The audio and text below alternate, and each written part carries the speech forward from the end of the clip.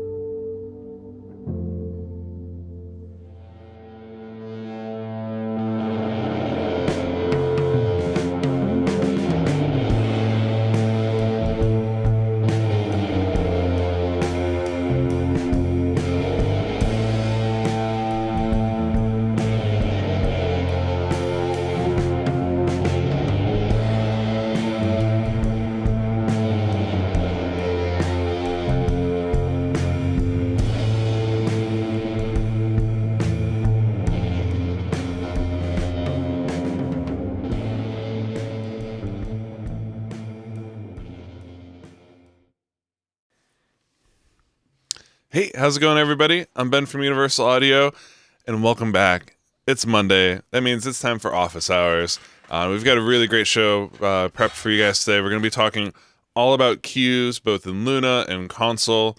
Uh, so if any of you guys are uh, at home tracking with headphones, working with musicians, working with Hearback or Aviom systems, uh, we're going to kind of go through everything that we can think about when it comes to cues.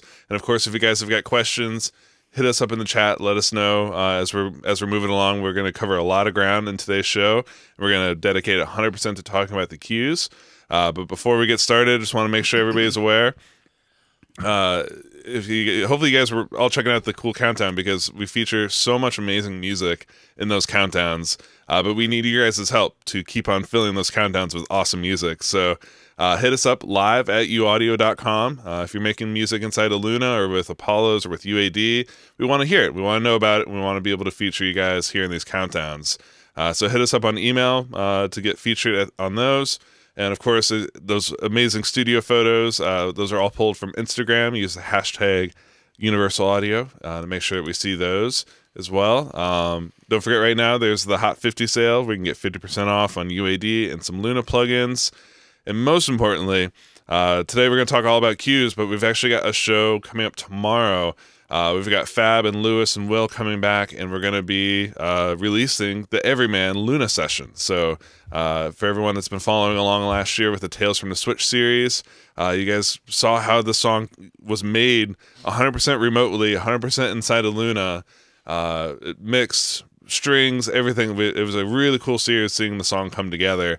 Uh, and finally, tomorrow is the day where that session will now be available inside the app, available for you guys to download. And we're going to bring back uh, Fab and Lewis, and I think Will as well, to, uh, to talk about the session, answer your guys' questions, show off some of the cooler things inside the session as well. Uh, so don't miss out on that. That'll be tomorrow at 11. You know, so same time, same place. Just come back here tomorrow for that. Uh, and with that, let me bring on Drew and Matt to help me uh, talk to you guys about cues. How's it going, guys? Good, good. How, you doing, Ben? Oh, wow, you guys are so in sync. Are you guys? you guys are using Q monitor, I guess. Yes, we are. Yeah, know low latency. Yeah, I love it. Well, and, and man, that's uh, you know, just talking about cues at a high level, real quick. Like, why are cues important? How do engineers use it? And you know, what what what what's the difference between a monitor and a cue? I guess is probably the most essential part of this question, right? Yeah, well, I mean, I guess I guess I can go first, but and you know, for me as a as a you know, I'm more more from the engineering side. You know, it's always been that the control room needed its own mix, and the, you know, the monitor mix and the monitor path is where is what that's all about. So, um, eh, so in my world, I always want to be free to do whatever I want in the control room, and uh, and of course, at the same time, I want to be able to create these separate, discrete mixes so that the artists get exactly what they want. Um, you know, most singers need to hear themselves a good bit louder than I probably want to listen to them. Um, You know, and you know, of course, Uh-huh. The drummers course, want the, click classic- track. They, they want the click track just ripping the their one. ears off. Yeah. Yeah, exactly, exactly. The drummers need that click, you know, at like plus eight, you know, on on the Q send. Mm-hmm. Um, so in my world, it's super. I've always operated under this, you know, monitor mix is all about me making making it sound good in the control room and letting me hear things in context, and then making as many cues, you know, uh, as needed for the artist. So. Um, Mm-hmm. Yeah, it's a really important distinction. You know, nowadays we're going to cover all sorts of things today, but like for in my world, that's it's all almost always it's a distinct and discrete uh, set of mixes for me and for them. Yeah. And that's really that's this is the this is where it can get very confusing very fast for a lot of folks. So we're gonna do our best today to simplify this, uh, really talk about when and where you'd use the different scenarios and the different features because in Apollos, especially with an expanded Apollo system, there there's so many cue options. There's ways to route cues, ways to build uh, headphone mixes for your for your uh, musicians. Uh, it can actually get kind of overwhelming. So we're we'll, we're gonna break it down. We're gonna go from simple to complex. Uh, this won't be a short show. The- this- there's a lot of ground to cover here. Uh, so if you're if you're looking for the complex stuff, just hang in there. We'll get to talking about uh, hearbacks and avioms and uh, all all sorts of really advanced topics as well as using uh, console, using Pro Tools, using other DAWs, and how monitoring through those works. Uh, but we do want to start simple. We want to you know kind of take kind of the scenarios that we see a lot of people uh, jumping into, where whether you're working by yourself, working with other with a vocalist or a musician, and and then you know ultimately getting to a complex uh, thing with like a band sort of scenario. Um, and yeah, Drew, you made such a good point of it. It is like it is just man, it's a different mix for when you you know this is and this is me personally. Like I leave my cues are typically just my monitors, right? Like that's that's the cue system. Even on I'm on headphones in a small production environment. Most of the time, you can kind of just leave your headphone output set to mix. So whatever you hear coming out your speakers is also what you hear in your headphones. It's when you get to that point where you want to hear something different in your headphones than what you hear at your speakers. That's when you really start engaging the cue system. Um, yeah, for sure. Like you said, though, even you know, even even in my world, there are times where if I'm tracking with a vocalist that and I want to keep things super simple and it for speed, you know, for speed, uh, there are plenty of times where I'll just send the mix to the artist in the booth, provided that they're okay with it and I'm okay with it. Then, you know, as you're stacking up tracks and you're adding tracks and you're adding reverb and you're doing things like that, it, it just all sort of takes care of itself. But there are times where you just, you know, I, I had a vocalist in in the booth the other day who mm-hmm. was just needed himself exceedingly loud and I couldn't and sometimes it's it's inexplicable. I'm just like, man, I do not but you know, it is what it is. They they they need what they want, they like what they want, like mm-hmm. what they like. So um, yeah. but well, there are also, times where yeah, and not just volume too, right? Effects, like being able to like sometimes yeah. singers want a ton of reverb. They want way more reverb than what you want to listen to. And again, this is yeah. where having having a solid cue system really allows you to give them exactly what they need and want in their headphones, while maintaining you know what you need to hear for clarity as the engineer. Um, and again, this works whether you guys are in the same room or in, or in you know uh, you have a booth or you have a live room sort of scenario as well. Um, mm-hmm. So yeah, this is this will be this will be really fun. So I guess let's kind of dive in. Let's start, like I said, let's start simple. So let's start like let's assume you have say like a twin or an Apollo Solo. So something with uh, you know something with just one headphone out on the front, a monitor out on the back. Um, so this is where you know. Matt, you know, I think you're kind of in the same boat as I am, right? Where you basically you're living in mix mode most of the time, right? And then yeah, and then occasionally breaking out to cue. Um, do you want to here? Let me share your screen here, and, and let's start walking people through where these options live inside of Luna, uh, and how to how to start addressing them.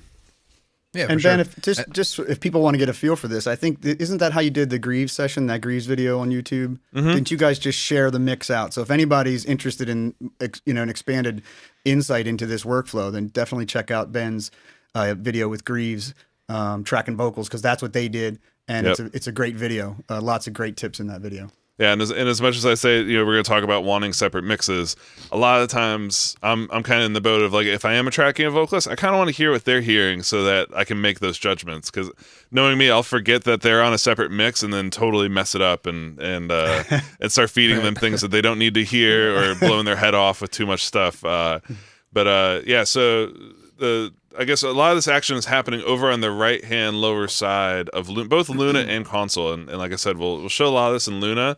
Most of the lessons we're going to teach you guys about today also apply to console, and we'll talk further about that a little bit later on in the show. Yeah.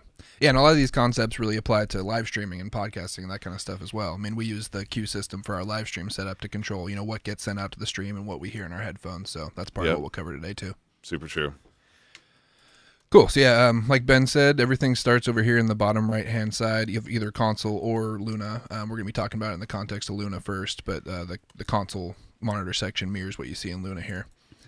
Um, so I'm on an Apollo Solo. It's about the as basic as you can get for a cue system because it just has two output paths, which is the monitor outputs and then the headphone output on the front. Mm-hmm. Um, so by default, you know the uh, I guess let's start at the the top um, the monitor outputs by default are listening to the monitor source, which is anything that you send to the main outputs in Luna.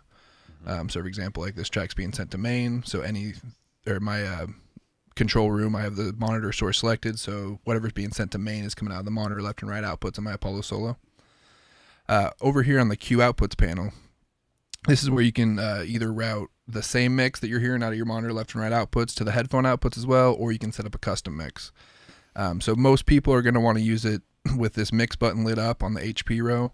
Mm-hmm. Um, and you can see here it says uh, monitor mix to HP. So that's basically saying that whatever's being sent to the monitor outputs is also being sent to the headphone outputs. Um, so, like Ben was saying for the Grieve session, this is the the case where you, want to hear the same thing in the control room as what the artist is hearing in their headphones. Um, this will mirror that mix of the headphones. Well, and the really really important step when you're doing this, uh, so say you have your your solo hooked up to speakers, right? Uh, you, you and the artist put on headphones. Don't forget to turn off your monitors, otherwise you're gonna have sound coming out through the speakers, back in through the mic. Uh, so, is there a quick way? Is there a quick way to cut uh, on on Apollos or uh, to quickly turn off the speakers? Oh yeah, for sure. I mean, this little mute button over in the bottom right corner, um, that'll just mute your monitor outputs, but it, the monitor path is still open, so whatever's being sent to those outputs will still make it to the HP outputs on the Apollo Solo since this mix button is lit up. Oh, nice, awesome. Yeah, so and completely independent. Nice. And so then when you uncheck the mix button, now your monitors just get the main output, but now inside of your session you can send things to HP in in the cue row, correct? Yeah, exactly. So once I unselect mix, uh, you can see it says HP to HP there. Um, so in the context of Luna, anything that I send to the HP cue on any of track um, will get sent directly to the, the headphone outputs. So basically, the, the main faders in Luna are setting the the mix for the monitor mix, and then these Q knobs are setting the mix for the headphone outputs. You can actually have different mixes for each output, uh, which is really cool if you want to give the, the artist a little bit more uh, click track in their, their headphones, a little bit more of their vocal in their headphones um, than you would actually want to be hearing in the monitor speakers. Nice. Well, and there's a cool thing too in, inside of Luna that uh, we, we've shown this a few times, I think last year, but uh, it's kind of it feels like a bit of a unique feature where on the main fader, the main fader has a Q send available to it. Um, Right. So especially if you're in that scenario, right, where you're working with a vocalist, where you want to send them, you don't want to go through and every single track of your mix have to turn up the send to the headphones, right? Otherwise, you're kind of Right. again, you're rebuilding the mix all over again. Uh, what you can do, a real quick shortcut, is to go to your main fader, turn up the send to the headphones there, and then uh, and then all your live tracks, so like your your vocal track, for instance, then you you know you have your main level and then you have your vocal level, and those are the only two uh, headphone cue sends that you have to worry about uh, level wise. Yeah, exactly. So I mean, I can come over here to the main track and um, option click on the knob that'll automatically set to 0 Um, so now I'm getting you know full level to the headphone outputs of whatever's being sent to the main. Then I can go over to the vocal track, whatever that may be, and uh, use that to add even more of the, the vocalist in their headphones, Nice. um, without affecting what I'm hearing through the, the main speakers as well. Yeah, and an alternative to that, you know, is the copy to cues or copy to headphones. If you, you know, in the mix window, if you right click on the fader cap, then you can actually copy your main monitor mix to the headphone mix and then customize from there. So it becomes like a uh, uh, a way of building an initial mix and then tweaking it from there. So um, you can there's lots of options there. Yeah. Well, and the Yeah. and one of the other really important options you bring up there, right, Drew, is uh, notice notice on that Q send there's a P and an M. Uh, so the M stands for mute, so that's when you want to quickly just mute what's going in there. But the P is really really important to to pay attention to because that means pre fader. Um, so Matt, in this context, that means that you're you get all the inserts, you get everything that's happening on the channel, except for the fader at the bottom no longer controls how much audio is going to the headphones, correct? Yeah, exactly. So um, I can basically set this level independent of the fader. If I have it in post fader mode, then whatever the uh, main fader is set to, let me zoom out here. Whatever the main fader is set to will actually affect the level that's being sent to this headphone output. Um, And, So, yeah, it'll- and you'll have contentious arguments between engineers as to which way is better. Uh, yeah, uh, I'm personally I'm a post fader kind of guy because you know I want them to, to hang in with each other, but uh, you know there's a lot of good reasons why you would would want that to be set in one place, especially if you're if you're in the control room fidgeting around with the levels. You don't necessarily want that fidgeting to go be passed through to the performer who's in the middle of a take. Uh, yeah, and if you're soloing things, it, you can't solo when you're in post. So, because you know the destructive solo mode or solo in place uh, will mute the feeds to those cues if they're post. So be careful there. nice. yeah, And that's a good point. There's a good question here in the chat from Bo, and uh, I see Fiddle Me already answered him, but I, I want to put this in the video so that everyone uh, sees it as well. So he's asking, you know, would you get the vocal through both the main and also the instrumental track in Luna? Uh, and the answer is no, you wouldn't. Uh, so what happens because of ARM mode uh, to get you know for the low latency recording experience, you you put your session into ARM mode. Whenever you arm record arm or input uh, monitor a track, it's going to bypass the main fader. So now you're just you're monitoring straight off that channel Uh, it's still going to your monitor outputs, but it's bypassing that main fader. So now you do get independent control over it, uh, and that's really where this workflow kind of comes to life. Yeah, and what you want to be sure is when you move on to the next track, go ahead and mute the cue on the track you were just on so you don't send double the amount because this is the moment you turn off the record enable, it will go to both the cue and the main and therefore get double in the hood in the headphones. So Yep, exactly. It's something something really keep. And yeah, we even put that in our notes here. Watch out when when you stop recording if you have it uh, if you have it pre fader and you have it being sent on the vocal channel and the main. Uh, yeah, when you go to press playback, you're now gonna potentially get double the volume of of the vocal. And this is uh, again, this is one of the reasons why I personally, when I'm working in a small, just me and a vocalist sort of scenario, I'll often leave it in mix. So that way I don't accidentally end up in a scenario like that where they're getting twice as much vocal and they're like, dude, why is my vocal so loud? Did I clip? Like they'll they'll get a little bit paranoid sometimes that they clipped or they like over were way too loud. Uh, but it's just because they're now hearing themselves twice, both from the, the individual track and from the main output. Uh, whereas if you if you're doing this sort of tracking scenario in mix, it's just you and you and the artist are both hearing the exact same thing, and you can adjust um, and and you know put up with listening to what they're listening to. But that is it can be really helpful, and and uh, we're going to show this option a little bit later as well. But you'll notice uh, in the bottom right hand side of Matt's screen where it says source, like right now he's on monitor, so it's whatever's going to his monitors is what he's listening to. You do have the ability as the engineer with all Apollos to listen to what's being sent to the headphones out through the monitor source, correct? Yeah. So then, um, if you you know the the Apollo Solo only has one headphone out, so assuming the artist is listening to the headphones, you need a way to kind of hear while you're setting up that headphone mix for him. Um, so you can set the source to HP, then you're hearing whatever's getting sent to the HP outputs in your monitors. You can dial in the mix, and then uh, be sure that whatever they're hearing in the headphones is exactly the same thing that you heard in your monitors. And then when you're done, switch back to monitor, and you still have the two separate paths again. Nice. Nice, man. Well, and then I guess the, the other note uh, we made here to kind of talk about early on is is panning of cues, right? So so far, we, you know, we showed you where the cue send is, how to do pre fader or post fader sends uh, to the cue. Uh, but the other important part is being able to to pan to be able to change the stereo field of those. Um, Yeah. So yeah, I want to show people how to do that. Totally, yeah. So you'll notice um, just in the normal view when you first open the mixer in Luna, um, there are, is no pan knob. There's just one knob that controls the level. But if you click this little icon over here, um, it'll expand the cues to fader view, and then you actually have pan knobs for each of them. Um, so like these stereo tracks, I can pan in stereo, uh, you know, left to right. uh, and yeah, that's the case for any track. So yeah, if you want to basically maintain the the same panning that you have in your headphones uh, when you're sending the HP outputs, you can do that with these controls here. Nice. Awesome. So that's kind of the, the- as far as I know, that's that's sort of the basic. This is you know the, uh, Matt's on an Apollo Solo, so this is about as easy and basic as it gets when it comes to headphone monitoring. Um, Right. And then you know from here uh, from here on up, uh, we just keep on adding on more features and more uh, flexibility and more power. But with more power comes more responsibility. So the uh, big thing we're gonna that we're gonna, we'll kind of show here is that you uh, you know being able to now with a larger system how this kind of build how we build on these concepts. Um, but you know again just we're going to be focusing a lot on that on this Q row and then at the bottom hand right the control room and the Q outputs. These are kind of our most important zones uh, inside of Luna to really understand for uh, for controlling these sorts of scenarios. Yeah, and, and one other thing I want to mention before we move on. Um, let's say you do have the headphone source set to mix. We've, we've only been talking about it in the context of Luna, um, being whatever you send to the main outputs in Luna gets sent to that mix. Um, but the if you have the source set to mix, it actually includes whatever else you're getting sent to the monitor left and right outputs as well from other applications. Oh yeah. Um, so, for, for example, if I come in here um, and set my Apollo to be the main output for all core audio, and I set the uh, the outputs to monitor left and monitor right, that gets included in that mix as well. So it's whatever gets sent to the main fader in, in Luna, as well as whatever's getting sent to monitor left and right from other applications like Spotify, iTunes, what have you.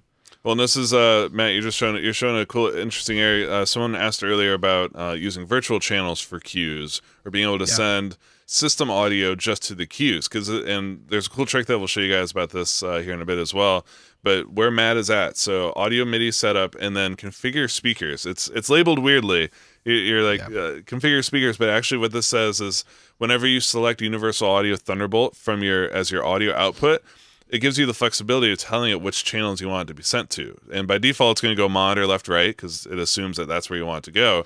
but you do have other options available uh, in those drop downs, including sending straight to the headphones, right? So like we Exactly. uh, this is that's kind of the trick that we're using here to monitor each other in our headphones, but not have it go to air.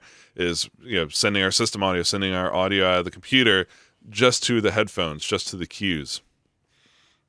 Yeah, and you can also send to virtual, and then you know choose where you send to um, each cue from there inside a console. But yeah, it's it's pretty flexible with all the the different output paths that we give you in the driver.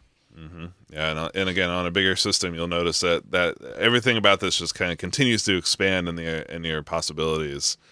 Um, nice. Well, we're getting getting lots of good questions here in the chat. So let, let me bring uh, let's make sure we're we're rounding up on these. Um, in console, is there a way to set the post fader mix to Q? Uh, in console specifically, Drew, do you know? Is that is it possible Uh, to be yeah. post or is it always pre fader? Uh, gosh, it's been a while since I've been in console, but yeah, I mean, cues are. Uh, yeah, I guess they are always pre. I think they're Yeah, always pre believe they're always pre. Yeah, yeah. It's been, it's been a while. Sorry, I had to check because uh, it's been a while since I've been in console only. But yeah, you know, yeah, console. They're dedicated cues. You know, these these paths are in. They're they're behind the scenes. They're not subject to buffers. They're in the DSP, and so therefore they have a very specific function. Um, so yeah, it, it's their pre in console because uh, you'd want them to be. Um, That's Yeah, the, that's the and that- function. You know. Exactly. The way to think about console is like that's your that's your input monitoring uh, sort of domain, right? So uh, Yeah. everything about that's kind of happening before it goes to Pro Tools or Ableton or to another DAW.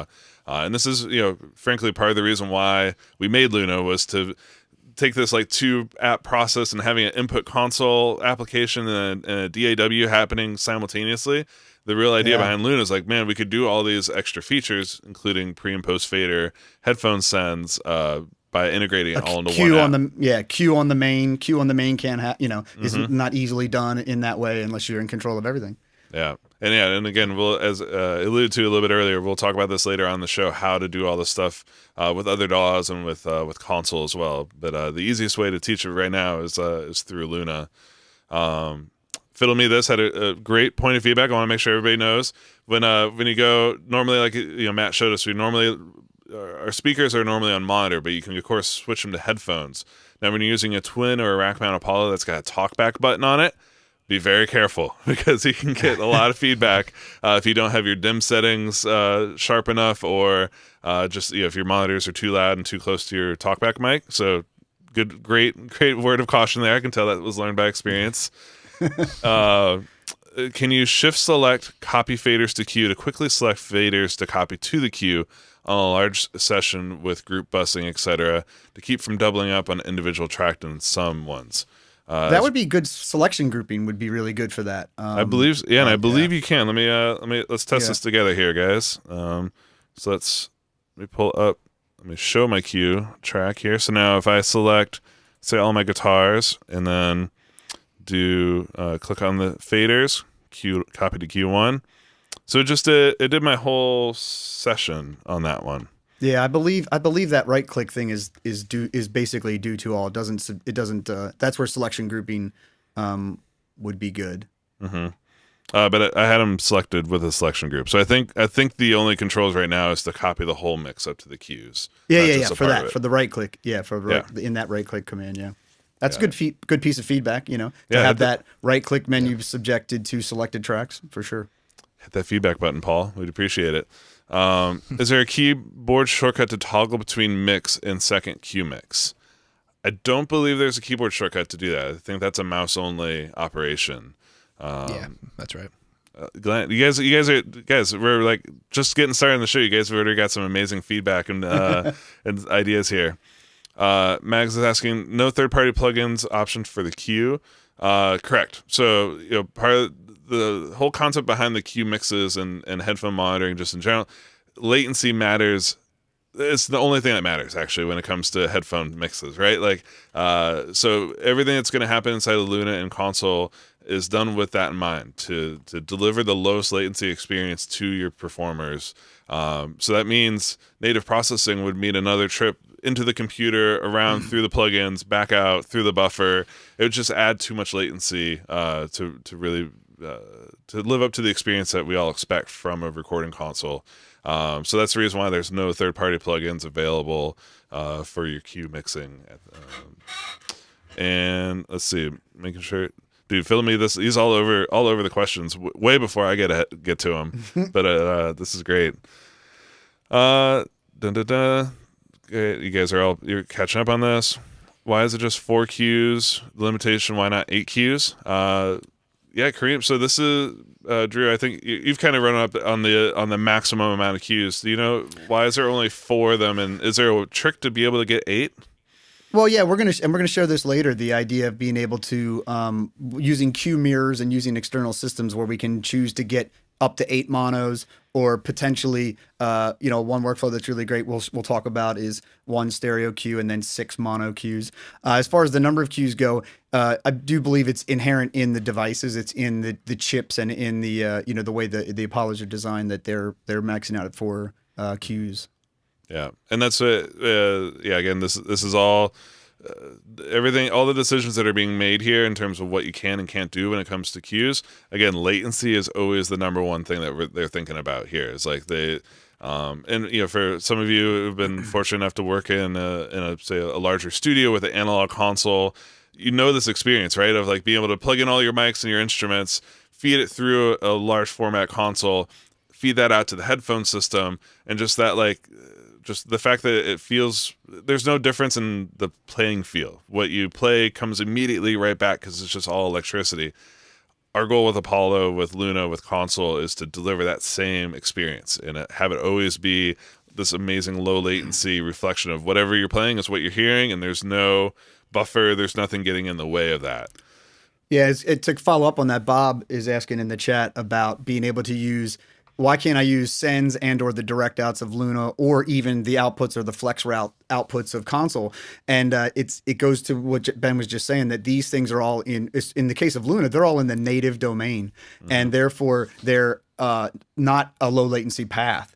So you can't send from regular sends and you can't send from outputs because they're in the native side of Luna. So these cues, that's what's special about the cues. The cues are behind the scenes, they're DSP based, and they're not subject to any kind of uh, buffers or any kind of uh, delay compensation. For example, you can have a, a limiter on your master fader that has a lot of plug-in delay in it, and yet these cues are not going to react to that. They're still going to give you those low latency paths. So um, hopefully that clears it up for you, Bob uh, asking about being able to send to the individual distinct outputs of that. You got to use the cues. That's how Luna and or console and your third party DAW. That's how they know to access these sort of in the background pathways that are in the DSP only. Yeah, that's really it's it's such a key point. I'm glad you guys brought that up. Of yeah, the cue cues are really built to do exactly this one function, and th- this is what they do best. Um, Cool. So let me let me share my screen, and we'll keep we'll keep on moving forward. I think we're kind of caught up here on questions, but again, if you guys any questions that come up as we're going through this, throw them in the chat. We'll do our best to make sure we're touching on all this. We want this to serve as a great resource for you guys to come back and reference uh, in the future as you're setting up uh, different types of sessions, bigger or smaller. Um, so I'm going to switch to my screen here so I can show you guys. I've got uh, essentially what I've got here in my studio is a, an Apollo expanded system. So I've got a couple of rack mount Apollos as well as a twin. Uh, so I've got a little bit more I/O, a little bit more cues uh, available to me, uh, and there's some really cool options uh, that come because of that. Uh, so number one of those is a trick that we've actually, uh, I think we've shown before, but you'll see here in the cue outputs on my screen. Make sure everyone can see this. So you see, I've got my three Apollos. I've got I've, I've configured my system for two cues. Um, like Drew mentioned, you can actually configure this up to four. This is a preference that you can set of how many different cues you have. Um, so you'll notice again, typically I'm leaving, I'll leave one of my cues on mix at all times. I leave one separated uh, for being able to send Zoom calls or uh, be able to do any sort of special routing scenarios. A new option that you'll see on my system that you didn't see on Matt's is you see this Mirror 2. So what Mirror 2 does is this allows you to send to an output on your primary Apollo device, uh, which in my case is a an X16 is my is my main number one unit, my A unit here in the top slot. So what this would allow me to do is if I had say a, a red box or a, a hearback system or Aviom, I had something connected to my X16 and I wanted to be able to feed into it at low latency, this is where I would be able to do that, where I'd be able to say, cool, Q1, that's dedicated my line one two that's where that's that cue should be heading Um, and similarly for Q2, I could set up uh, multiple of these. And a lot of times when we were doing a, a larger tracking session, uh, this is one of the real key features for being able to send it back out into the studio to to a headphone system. Uh, but the rest of this window is dedicated to the built-in headphone outs of my devices. So you'll see my Apollo X8 headphone number one, headphone number two. Uh, if you guys are familiar with with these Apollos, you, you, you, in your mind's eye, you can picture it right now, right? On the right hand side, there's two headphone outputs.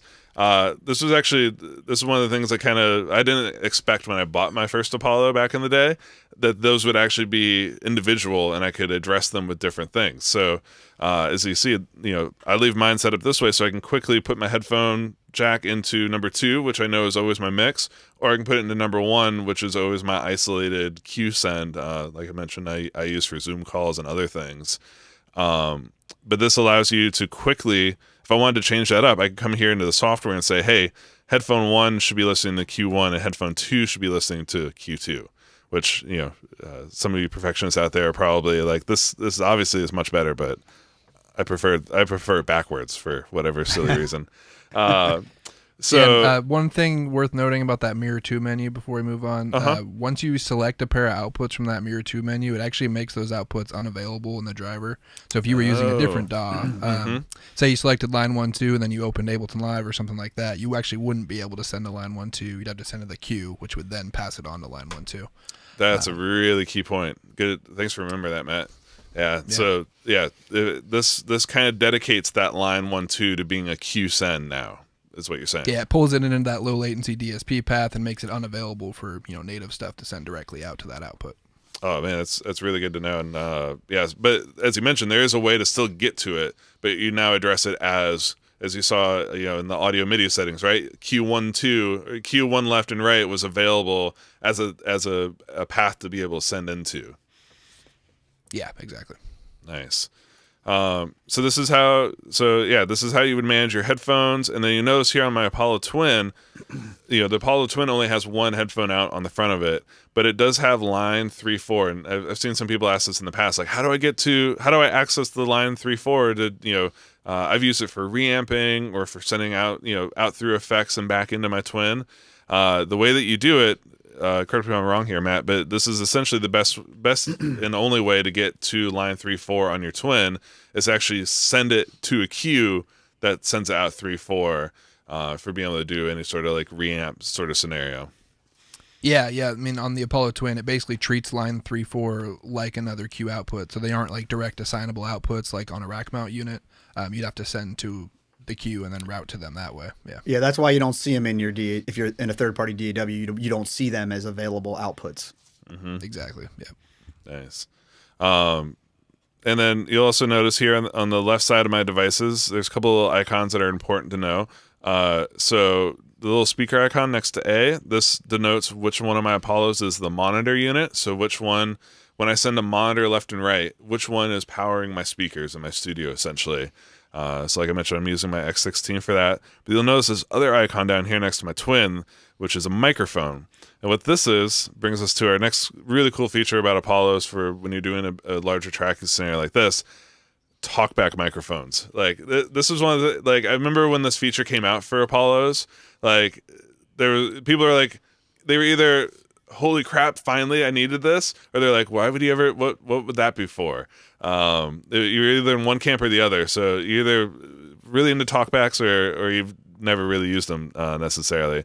But essentially what this is is there's a microphone built into the front panel of your Apollo that allows you to talk through the cues.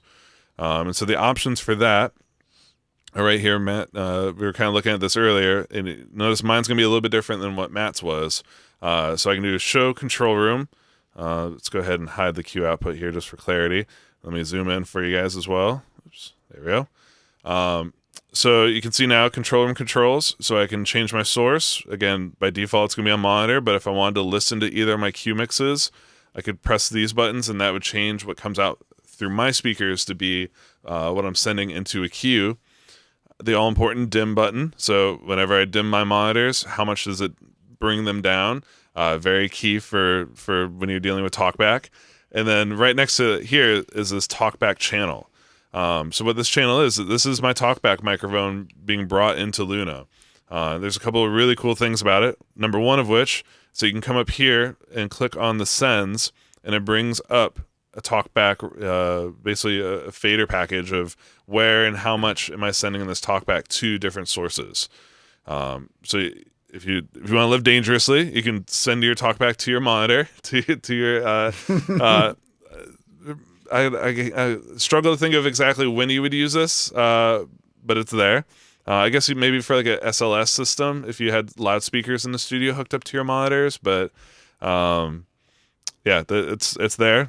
Don't be That careful when you yeah, turn the that only on.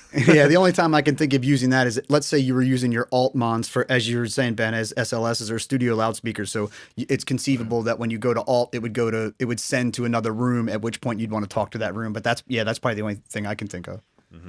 And by default, uh, you'll notice it's already being sent to Q1 and Q2. It, the, the assumption here is, you know, if you have a talkback, you want to send it to a Q.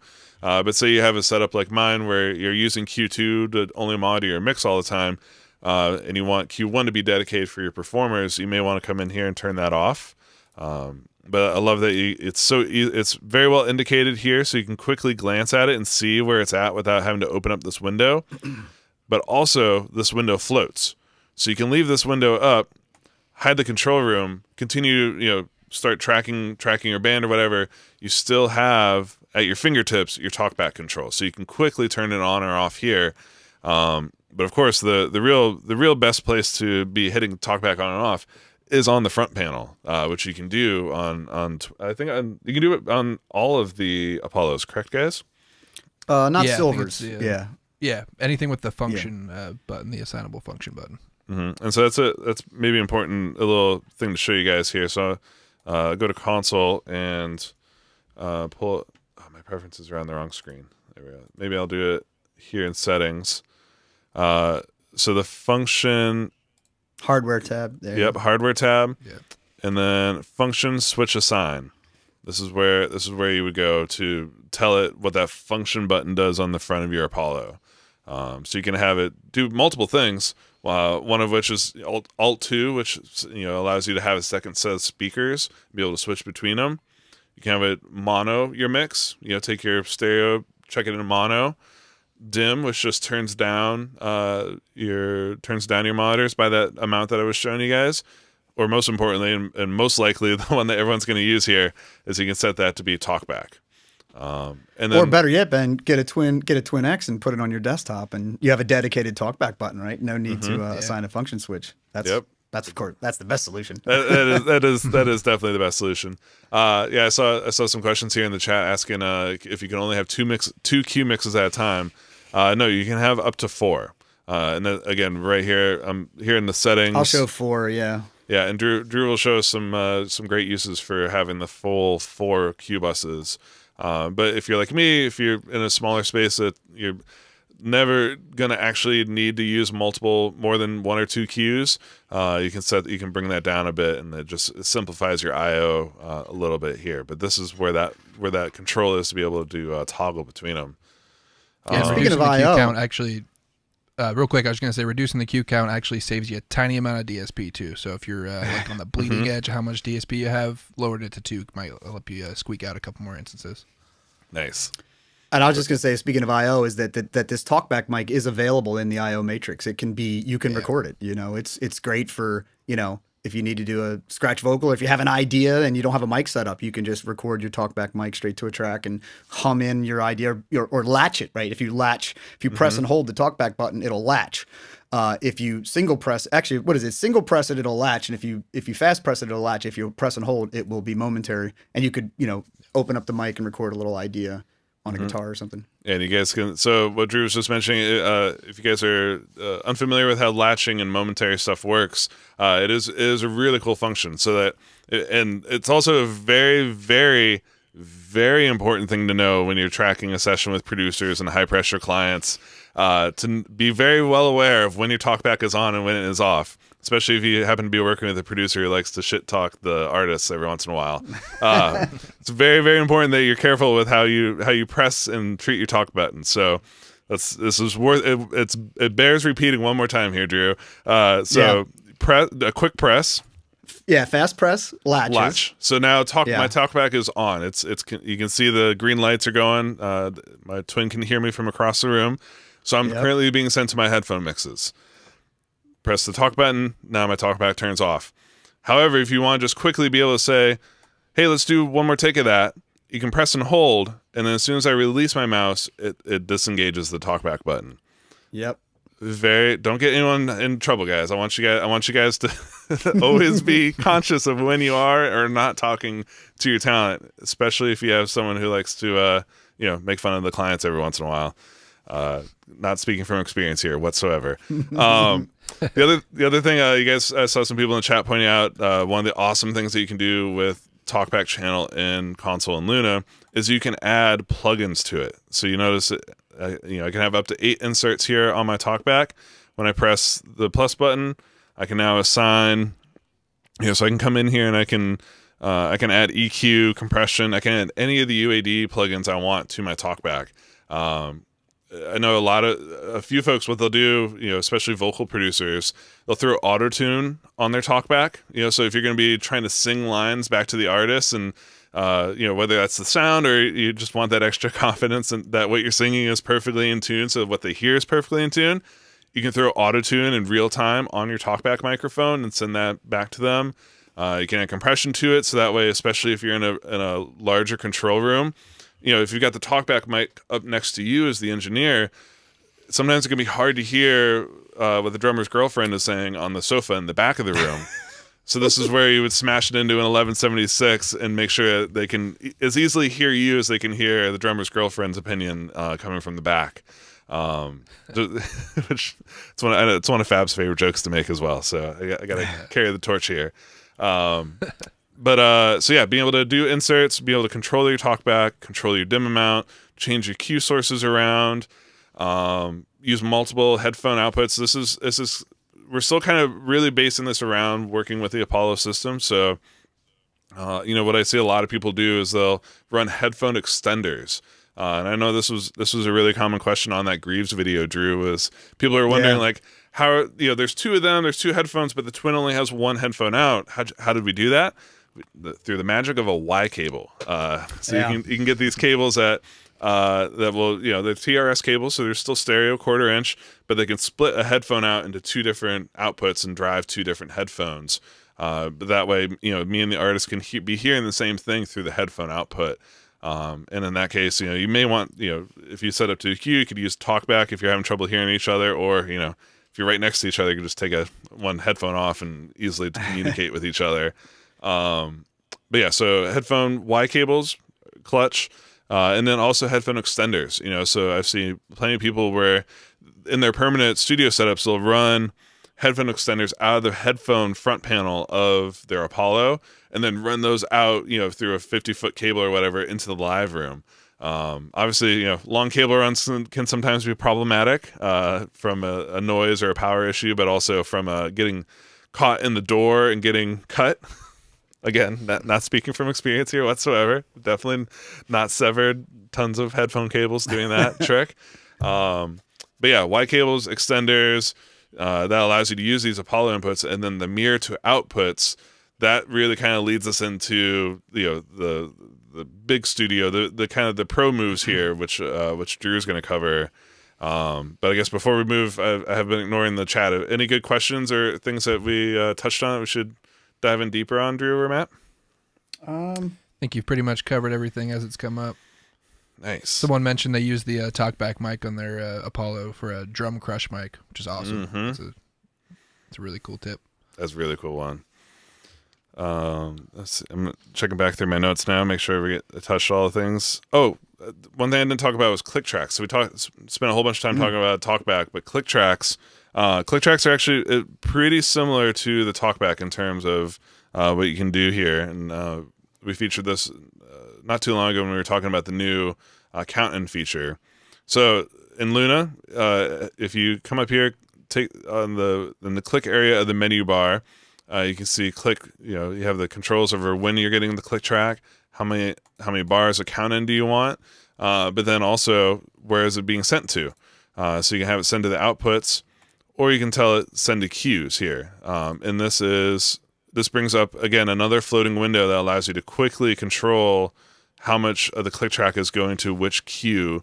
And again, you can come in here and turn those on or off very quickly.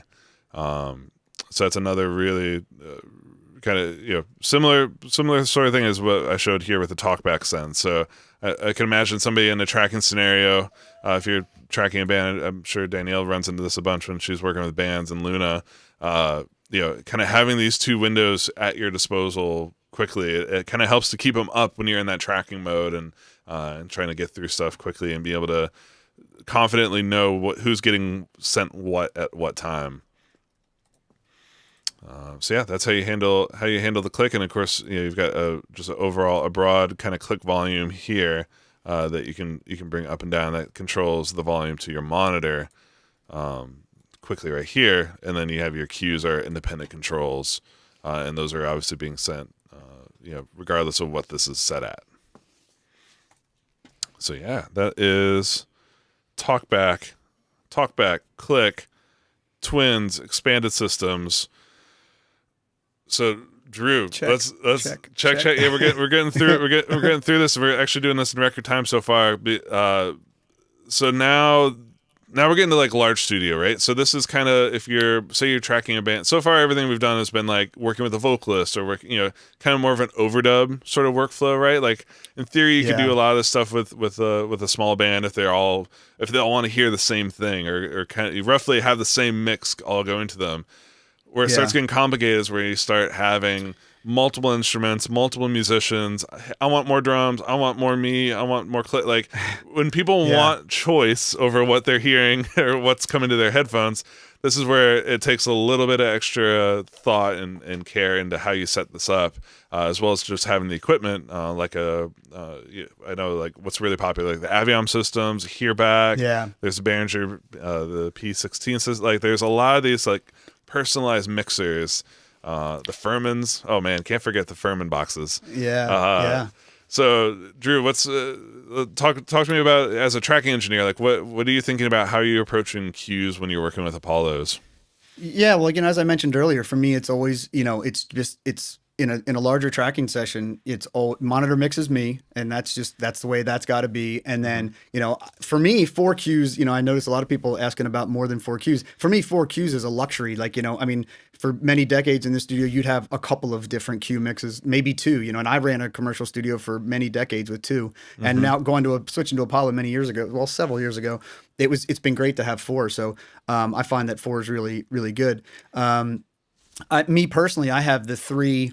Uh, my first three are sent to my my big room, the live room, and then I dedicate Q4. I have that hardwired to the vocal booth. So um, in in my setup, that's that's how I have those. Uh, you know, it's sort of like baked into the system that there's three in the main room and one in the booth. Nice. And uh, so, like you, I use an X16 as my as my main unit, so they're mirrored off of that. Um, so yeah, I could show you that if you want. Yeah, Um, let me uh, let me share your screen here.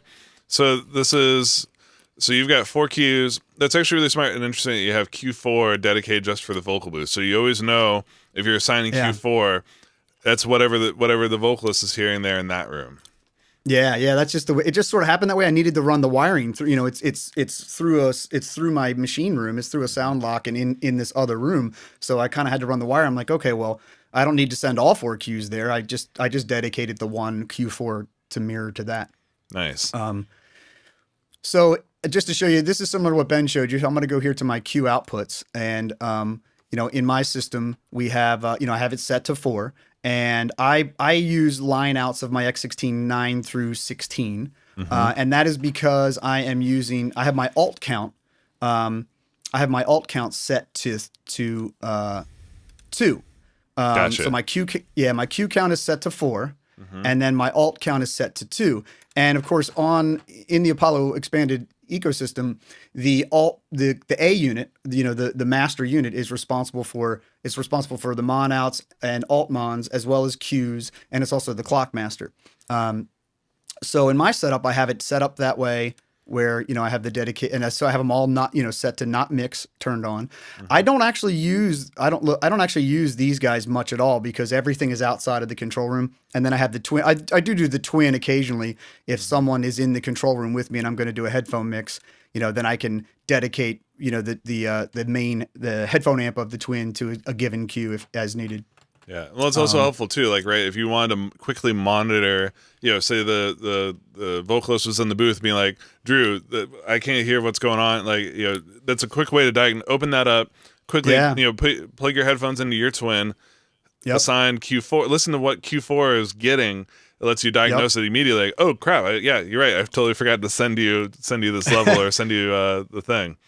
Yeah, that's an awesome point. And you know, like if you're an engineer working with other artists, like that's something you'd want to do like before they even walk in the door. You know, like if I have a vocal session at 11 a.m., I'm in the studio at 10:30, and I'm che- testing the mic, I'm checking the mic, I'm checking the headphone mix, I'm I'm doing all that stuff. So when they walk in, it's just like you know, boom, you can get right to work. Such Um, a so such yeah, professional. You're Such such a pro, man. Take care. Well, you take care yeah. of your clients. Nice. I like well, it. yeah, well, that's what you got to do. What you gotta do exactly. Uh, So nice. So so now so Q1. Explain to me kind of now you have those going out to multiple outputs on your X16. So on your patch bay now, those those are getting presented on the patch bay, and you just have them normaled into uh, your hearback system, right?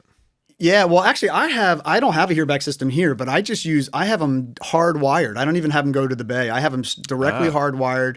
Those outputs are dedicated to the cues, and I have them hardwired to uh, separate, discrete headphone amps. Gotcha. Um, I I mean, we are going to talk about Avioms and hearbacks because I can I can sort of mimic the setup and show you how to do it without Mm-hmm. having to have the hardware. But in my specific uh, uh, studio, I just have them mirrored to those outputs and they're hardwired. So it's Right. Well, that, and that's that. such a that's a very traditional uh, way of doing it, right? I remember like the red headphone Yeah. boxes were ubiquitous.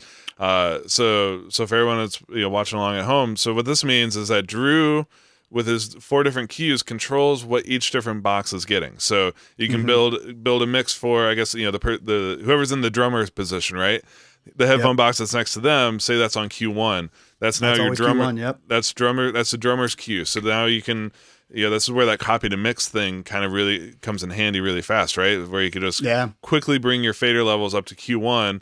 Boom! Now the drummer's getting what you're getting, and then he says, "Hey Drew, uh, I can't hear my kick. Can I get more kick?" He can now Drew can now just go in there and quickly add more kick uh, to what's being sent to to the drummer's headphones. Yeah, and typically I'll do things like it's nice to have that separate control because like I, I track drums with a sub kick all the time, but you don't need to be sending the sub kick to the cans. you're just you're just taxing the headphone amp and you know with uh-huh. no benefits. So as you can see on the screen here, so let's you know if this is the kick in and the kick out, I you know or sub kick, I'll leave it alone. Same with snare bottom. Like mm. snare bottom doesn't need to go to the headphones, you know. So for me, it's tip- most drummers typically need, you know, kick, snare, hi hat, right? Hi hat's a big one because, you know, you put headphones over your ears, it muffles the top end, so you're missing all the articulation of the hat. So kick, snare, hat, and then generally just like some overheads, like just to give them that sort of the openness in the top end, kind of restore that stuff, um, is always is always good for me. Man, that's so smart. Um, I, I actually I had never thought about that before, but you're so right that like what they're hearing or what they're feeling, you know, be able to just get bleed through the headphones. It's gonna be low mid energy. It's gonna be kind of the low mids and all that stuff. Yeah. You, you could probably get through with with less of. But yeah, it- you're muffling all the top end. Uh, that's where they're gonna want more hi hats, more overheads than they're gonna need. And they don't like. Yeah, you made such a good point. You don't really need sub kick coming through your headphones for Yeah, you're just the you're just taxing those drivers. Yeah, you're taxing those drivers. You know, those little headphone drivers are trying to reproduce those that low end, and it's totally not necessary. um, so yeah, it's you got to have a custom mix for that. Uh, And then of course, you know, if, if this if this is the click track, then we can just we can just put that all the way up, right? There's your there's your there's your click track all the way. You know, just put that all the way up. Um, What so yeah, so I, I yeah, dr- sorry, drummers. I don't mean to. Uh, we don't mean to pile on. Um, so anyway, yeah. So in my studio, that you know, so the Q Q one is the drummer is Mm-hmm. always is always the drummer in my place, and I, you know, of course, obviously making them hear what they need to hear is is of the utmost importance. And then let's just you know, if we're just pretending here. Uh, you know, obviously a decent bit of bass, and so if I, a lot of times with guitar, I'm tracking guitar, a mic, and a DI. Right, no need to send the DI to the headphones, uh, and so forth. Um, don't forget about effects, right? Don't forget about effects. If you're if you're using um, ARM based, if you if you if you're using buses that are in ARM mode, and so they're the your live monitoring effects, then you want to send them to the mixes uh, uh, as needed, um, which is always important. Mhm. Well, it's super important, uh, Drew. uh, You mentioned the ARM mode, right? So in in Luna, you get, and, and I guess this applies to console as well. You have two auxes available. Um, so these these become incredibly important for if you want reverb or delay for your singer or for you know your musicians to be able to hear some space around what they're doing. You're going to want to make sure that those are ARM enabled uh, inside of Yeah. Luna. Uh, and again, we'll show you guys how this works on console because it's the same sort of thing. We have aux one and aux two available. It's essentially what Luna's using to power these low latency uh, effects. Uh, Yeah. But you know the way a lot of people end up using it too is as a crush, as a thing that kind of like glues elements together, so you can send. Uh, you can send your drums and your bass and you know smash them through a channel strip or 1176 and get this kind of like gritty kind of underlying thing which is a, a whole bunch of energy as like a parallel compression in real time and then feed that to the headphones because man musicians they feed off that sound they feed off of like Yeah. hearing some especially if you're doing like rock or something more aggressive where they want to hear that punch and that character coming through send it you know send it into a crush bus send that into their headphones even if you don't end up using that much of it when you mix um, I think we showed this. Uh, Jacquire did a great example of this when we were doing the the rock recording masterclass last year. He had this going live. He had a, a distorted. He did it both for the vocals and also I think for the drums. This like distorted, crunchy thing that he would sneak up in there, feed into their headphones to help feed into their performance and give them like, dude, you guys are rocking. hypes- like this, hypes it up, yeah. it does. It things totally does. Um, so yeah, but, and you get two of those. So a lot of times, yeah, using one for a parallel crush thing, and then one for like a delay or reverb, or you know, some some uh, something that kind of spreads out the sound a little bit. That's a great Yeah. use for those two. Um, but then you guys will notice other, you know, even if you turn up the Q on a non-ARM aux, it won't send signal to it because nothing will be going into that aux unless it's ARM enabled while you're tracking. And then as soon as you're you know playing back, then of course it'll activate. Right, right. Yeah, and a couple of things I don't think we've mentioned just yet. You know, some people, uh, uh, you've got some little helpers and some little shortcuts that'll help you. here. For example, option clicking, right? If you option clicking on a cue sets it to zero. Uh, also, option clicking on a mute will mute all. Yep. So this is nice. This is nice during playbacks when you know if if you've opened the door between the control room and the studio and you're playing back the track, you know you don't need to hear those headphones, those poor headphones with the click track at plus eight, you know, from the drummer, you know. So Yeah. you can you can you can mute those headphones. We also have the ability to hold down command allows me to control the volume of all of them. So this is a good way of if you have a complicated mix, let's just say I have a bunch of stuff up here. Uh, and I want to adjust them all at the same time. I can just I can grab command and, and it adjusts all of them at the same time, which is a you know nice way of being able to adjust your entire cue mix up and down, as well as muting it and so forth. Nice. Um, Awesome. So that's so this is kind of a this is a great great way to get into this. So this is the four Q, you know, so four Q boxes, and then you as the engineer now you've been in charge of creating those mixes for each musician and, and what they Yeah. need. Uh, which you know again it takes a, takes a little bit of extra preparation, but then once you're all set up and tracking, it can be as easy as just leaving it set at as it is, adjusting as they ask for it. Uh, and Yeah. as Drew's showing here, you can have these big faders, so you can quickly kind of look over and see what all's going on. Yeah, and this is a great uh, uh, opportunity for a new alternate window. You know, if you do a new alternate window, you can kind of dedicate one of the windows to having all of your cues ex- blown out and expanded out. And you can, if you you know, if you double click on your faders, you can shrink your faders down and get more real screen real estate for the cues. And if you're in an, if you have this in an alternate window off to the side, you can really have a second window that is like almost exclusively uh, cue based, and you can ha- kind of have that off to the side and just be like, oh, I got to grab my cue, I got to go grab my cue. Meantime, on your main monitor, you're you have you're looking at uh, you know your entire your your own mix, and you can you know your own mixer. Nice. So now, a uh, couple couple things I see come up all the time. Uh, people are always curious. Can you use? You know, we showed it, you showed it with uh, line outputs feeding your things. Can you do that with digital outputs? Could you use like an ADAT uh, output on an X8 to to feed your headphones? Yeah, absolutely. You know, that's a great workflow that a lot of people use. I, I, my monitor unit, like yours, is an X16, so I don't have ADATs on there. But in the Q output section, uh, when you go to the mirrors, uh, you know, you will see. Well, and I, you can see it here. I can see the AES EBU, so that's available as a mirror were I to try and you know want to feed or mirror something uh, to a to, to a digital. So if you have an ADAT enabled system, like an X8P or X8, they'll be in there as well for mirrors. But keep in mind, it's only on the A or the monitor unit. The monitor unit is a special unit that is responsible for the cues. And I think that that's an important thing that uh, trips up a lot of people. That like the order of your Apollos does matter. Uh, so it's really important. The first in the the A unit right is always the one that's first in your chain. Uh, Yeah. With your Thunderbolt cable. So the Thunderbolt comes out of your computer into your A unit of your Apollo expanded system. So uh, if you want that to be your X16, if you want that to be your X8 or X8P, uh, it matters which one you put there because it does enable some extra features, especially when it comes to cues like this. You actually don't even need to put it first in the chain. You could be the second in the chain. You can drag it up to the top, and it'll still work. Uh, Oh, Thunderbolt's what? pretty forgiving in that regard. Yeah. Oh, so Yeah. that's that's in this window, right? Yeah, exactly. So if Drew grabbed any of those other Apollos down there, he can actually drag them to the top, and they instantly become the uh, the monitor. Yeah, it'll become without A having unit. to change the physical order of the Thunderbolt cables. Yeah, it's part of better. the, it's part of that A designation. Um, but I, you know, Ben Ben's Ben's point is good. I do. I don't know if it's just the OCD in me, but like, part, I, they got to be connected in the order in which they are. Like, I, you know, I, I don't know. Yeah. It just feels like they're, it just feels like the right thing to do. So, uh, and possibly when you have multiple, you know, I have two X8Ps, so um, it just feels like the right thing to do to have them connected. But technically, it's not supposed to matter. But I, I just can't have it. Makes it easy to remember what's what, though, for sure. Yeah, yeah, Yeah, especially if you're on a patch bay, right? If they're if you it just it helps to always kind of keep everything in line. So when you're thinking line one, uh, all right, yeah, line one's this one, like Yeah. yeah, help helps to keep it straight. I Um, actually just helped. I just helped uh, troubleshoot a dual X16 user, and he who had his cues coming off of the B unit, and yeah, we had that exact thing because they were actually Thunderbolt connected the wrong way, or you know, not the wrong way, but out of order, and it messed with our heads as we were doing our troubleshooting. So definitely put them in order. Just put them in order. nice. Uh, so cool. So you can use ADAT outs. Uh, you can you can mirror. You can use line outs. So now, so this has been you know, like I said, we've been using cues to send to certain musicians, but this kind of all gets flipped a little bit on its head when you start using an Aviom or a hearback system, where the goal is to kind of give musicians in the room their own mixes and their own controls. Um, and so Drew, you mentioned, you know, this is a way you can actually get eight of them if you do them all with mono, but there's a really highly recommended way of doing it with like one stereo and then six monos.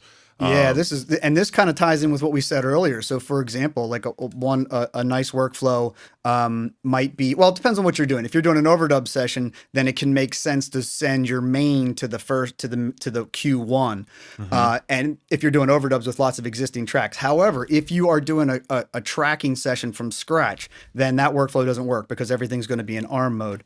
Um, so let's say let's say uh, so, and what we're what we're referring to here is this idea of doing one stereo mix using let's say Q1 and feeding it and mirroring it out to a stereo pair on your Aviom or Hearback and then using the other cues two three two three and 4 as mono feeds um, to, to do six sort of more me kind of things. Um, so there's a couple different ways to handle this. For example, drums. Like if you look at drums, you know, drums are often 8, 10, 12, 14 tracks. Trying to send all of those discreetly out to a to a to a headphone system is kind of silly. So you know why not use Q1 to basically send a, a, a really nice stereo mix of your drums to Q1, and then on the other cues, uh, let's say so. Let's just pretend we've done that. Uh, well, actually, I can just kind of can just uh, bring these guys up and pretend we've done a mix here, and then Q2. So then you, you- the other cues, uh, the other cues become uh, mono feeds. They can we can turn them into mono feeds. So let's say we're talking about uh, Q2 on the bass. Uh, so by by panning it hard left and then option clicking to set it to unity gain, and along with my mirrors that are going to you know for Q2 is line out 11 and 12. Um, now this bass is going only to output 11. It's only going to 11, not 11 and 12 because I've hard panned it.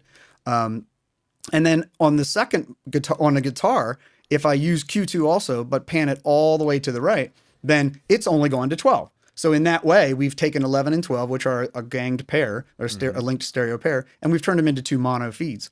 yeah, that's such a, then- it's such a trick, right? So this way, like you know, if you guys are familiar with the Avioms or the Hearbacks, like now you know, fader number one, that's their stereo pair, that's their drum mix. They can just turn that up, but then you know, uh, knob number two is bass. Boom. Now the bass player can crank himself. Guitar player can get just enough that he needs. This allows your musicians to now know. And of course, you know, if you're again, if you're being a good steward of a good engineer, you've gone in and labeled the headphone boxes. You know, told the musicians, here's drums, here's where bass, guitar, and allow them to build these mixes as they like. Um, Yeah. And so the real power, the the super big trick here is remembering that you can pan to send it to just one of those lines. Uh, so this is, you know, when I've worked with Jacquire on sessions, we've he's set all his stuff up exactly like this, where drums are going out this stereo pair, and then a bass track, a guitar track, a second guitar track, and then a vocal track, and then maybe uh, an effects return. Like it really allows you to to send exactly what the musicians need to then craft a mix for themselves. Yeah, and you know, it's one of those things where, like, you know, for me, a drummer doesn't need, you know, it, make them a, you know, make them a great mix. You know what I mean? Like, get good, get good sounds, and create a nice headphone mix, and send it there. Um, and you know, we we mentioned this earlier, but let me, I can bring it up again here. This idea of the source down here, right? We've Yeah. spoken about this a few times. Um, and the this is a really important thing when you're making these headphone mixes um, is to be able to go in there and and punch through and listen to that mix. So in the case of in case of the drum mix, I can simply hit this Q Q1 mix and work on that mix uh, that I'm sending over to the drum to the drums, um, which would you know which would be here. So I can send him a nice mix, uh, and then everybody else is go- getting their discrete outputs. Nice. Uh, you got a good question here from Danielle asking about the more me kind of theory. Uh, and so this is uh, there's another uh, a slight variation on what we just explained, where we are setting up, Yeah. you know, one two is your drums, three is bass, four is guitar, and on and on. There's another way that you can do this, where you could use that stereo one to be the whole band. So, Yep. and a lot of times the way I would do this is I would take my cues out of pre fader and put them into post fader. So that way my big faders at the bottom are now controlling the level of everything. And I would just unity gain across that top. So now mm-hmm. Q1 is basically a copy of my mix of what I'm hearing in the control room. And that's getting fed to the first knob on the hearback system. And then I would dedicate, you know, as Drew was showing here, you know the bass on channel three drums on channel four you know you can do mono more me's that if the drummer wants more of themselves in the mix they've got the stereo bass line you know the good mix that's coming from the control room. They've got that on their first fader. Now they've got a, a simple drum knob for more drums or more bass or more vocal that they can blend and add into the mix. Um, Yep. and a lot of times this it's a great way especially uh, for younger bands for you know for people who are, aren't as comfortable fiddling with knobs and man I, can- I can only tell you the number of times that this happened in sessions where they would they couldn't find th- they'd say they couldn't really figure it out they were uncomfortable they couldn't hear things. I'm like dude i'm sending you like full you just walk out into the control and listen to their headphones for two seconds. You know for us it's like second nature to quickly balance things but to a musician who doesn't do this often it can be very daunting to try and get a good Yeah. balance and something that actually helps them perform. Uh, so being able to do give them that confidence give them hey here's a good mix. And then if you need more click or if you need more bass just turn knob number three or turn knob number four yeah, that's to that. add more that's that more the more me theory. It's yeah, that's that's the essence of it is to send them something really good, something nice. It's also great for effects. That way you can send the more me the the bass mix. You know, the foundational mix can have a generic sort of comfort reverb that mm-hmm. is at a fixed amount, and then literally as people add the more me, they're actually kind of drying it up as well. Like they can they can set themselves back into the mix, and maybe they hear a little bit more of the reverb that you might have in the control room, and then as they up the more me, they're actually drying it up and pulling it to the front of the mix. So it's it's kind of like double duty in that sense, even. Uh, perfect question from uh, from Art here asking: Are there phase issues when you're doing a more me mix like this? That's the that is the incre- that is a really cool part, man. All of the cue outputs, all the outputs that are happening here in real time, they're phase aligned. They're all they stay together. So by doing it this way, and this is why it's important. Uh, Matt mentioned this a little bit earlier too, right? Like the reason why you don't use direct outputs on channels to, to feed these things, or the reason why you, you want to use the Q system to power this stuff, is that it, it locks these outputs in phase all together. Yeah. Now that that leads us to a, a, another important point here is that if you're whenever you're multi miking something and you're if you're tracking a bunch of live musicians, then you want to make sure that you've got your input delay compensation on. Uh, input delay compensation applies uh, the the appropriate delay compensation to to all of your input signals before they're presented to the disc, you know, to, for recording. Um, so yeah, with as long as this is on, then you're you can this will take care of compensating for any inputs that are any delays that are induced in your input section, uh, unison preamps and you know whatever else you're doing on a per channel basis for processing. So make sure you got this guy on. I personally, we've talked about this before. I personally like it. I always keep it on short, even if you don't. You can keep it if you're just doing one mic to one track. You can totally turn it off.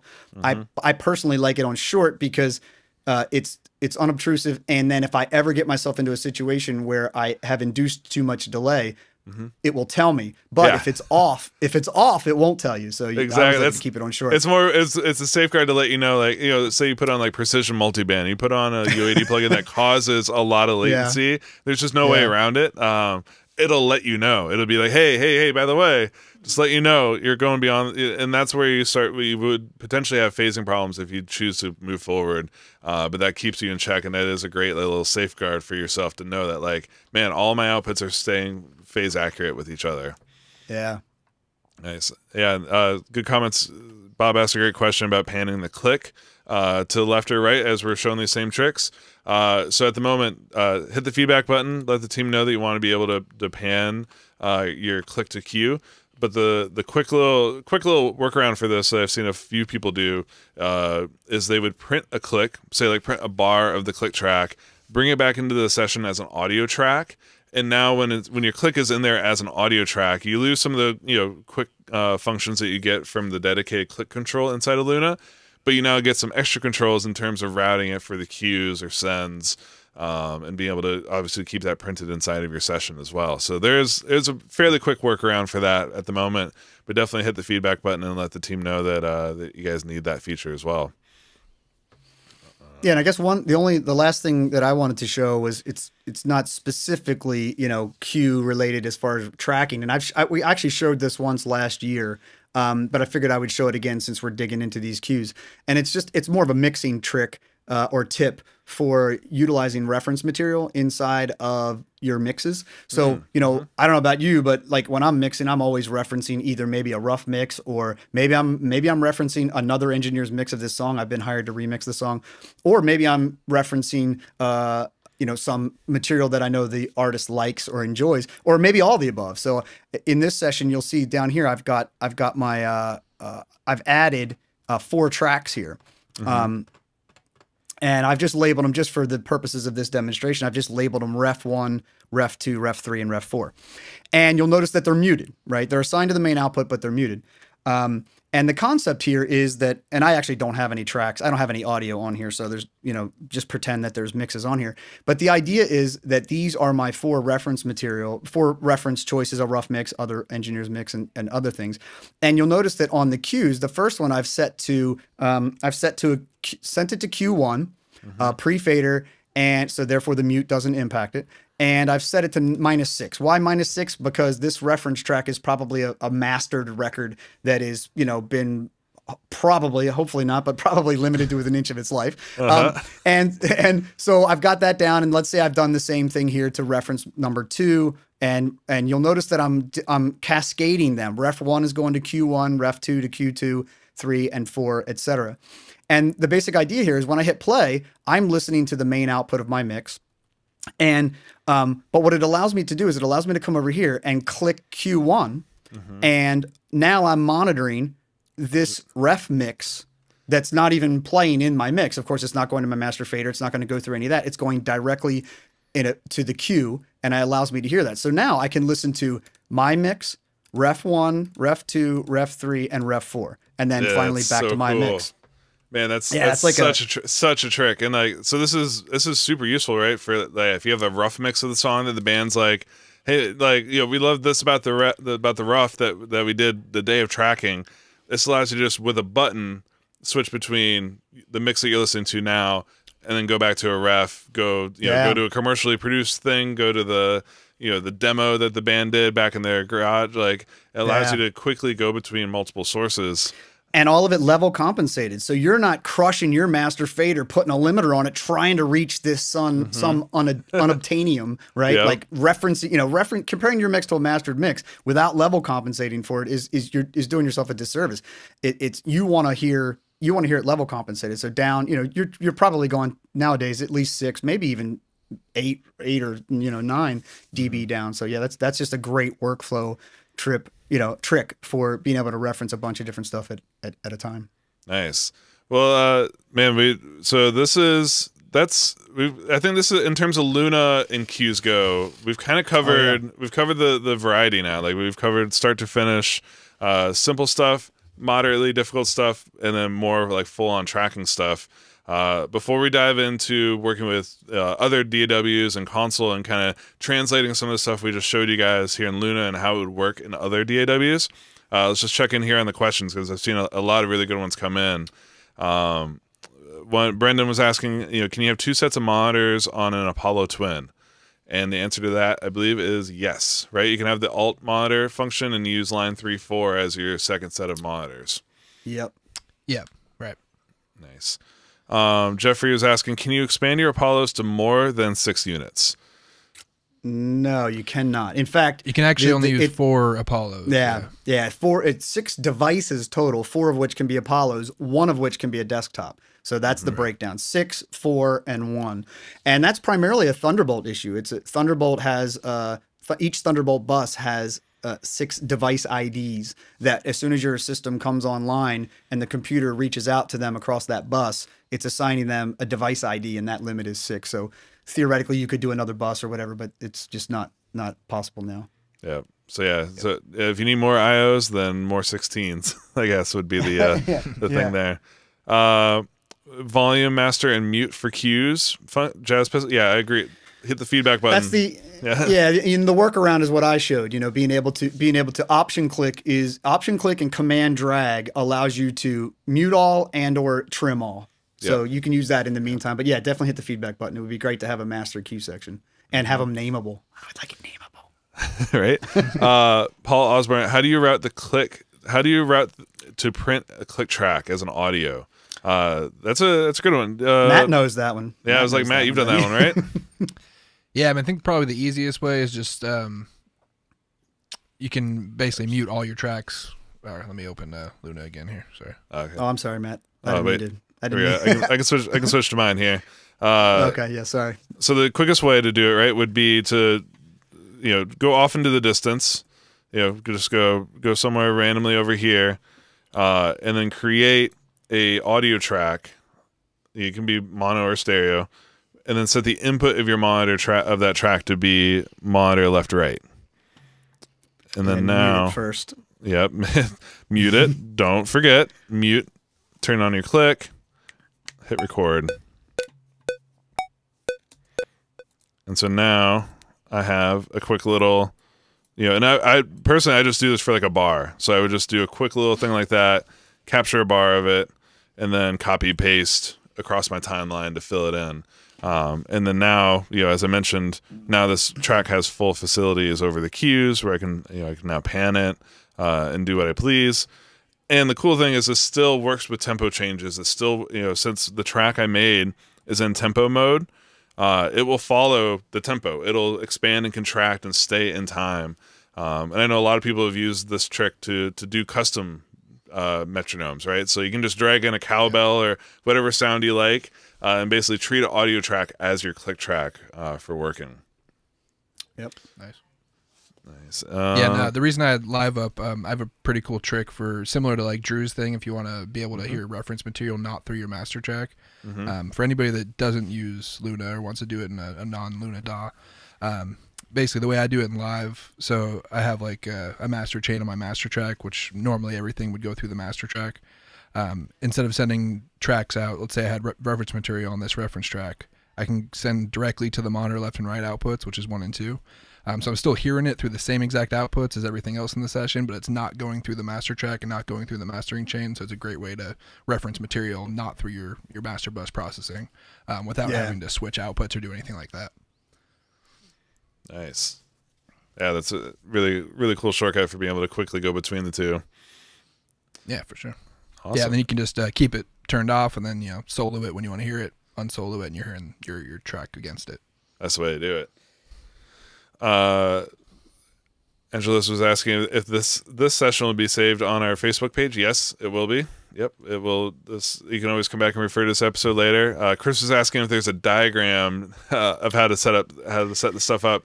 Uh, Drew, is, are there any resources like over on the forums or anywhere? Yeah, actually, you know who did a great video is Todd Urban. Uh, if you go to YouTube and go to Todd Urban Sound Studio, Todd Urban, he did a he did a video showing you exactly how to set it up with a, an Apollo eight and a hearback system. So uh, def- you just go on YouTube and it, U R B A N Todd Urban, and you'll find his page. He's got lots of great videos on there. Um, and yeah, one of them is a hearback video. So definitely check that out. Nice. Mags 2020 is saying, oh, so the X4 can be added to the four rack Apollos? That's correct, right? So you get a four, you get, or No. would it be three three racks and an X4, right? Exactly. Yeah, it's four exactly. uh, four Apollos total. One of those can be desktop. Gotcha. Or so you could have four racks if you wanted, right? Yeah, you could Yeah. have four racks or one desktop, three racks. Yeah. or six satellites. Those mixer people, they're just mixing six satellites. And the with satellites, those can you run those on a separate Thunderbolt bus, or do those have to still be on the single? It's still bus? six. Yeah, Yeah. it's still six. Uh, that's you know because your device, your UA device, everything is based around that six device limit. So, Mm-hmm. um, yeah. Nice. Uh, and Danielle was following up on, on on the click trick that we are using.